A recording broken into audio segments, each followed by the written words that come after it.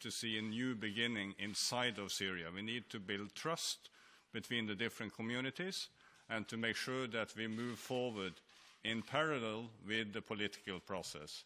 We need still also to focus on the Daesh and the fact that the Daesh is dramatically weakened, but perhaps not completely defeated. And then there is another element, of course, and that is also what we have seen lately, and as uh, last as last night, the Israeli uh, bombardments of uh, Syrian territory. So there are many issues that needs to be sorted out.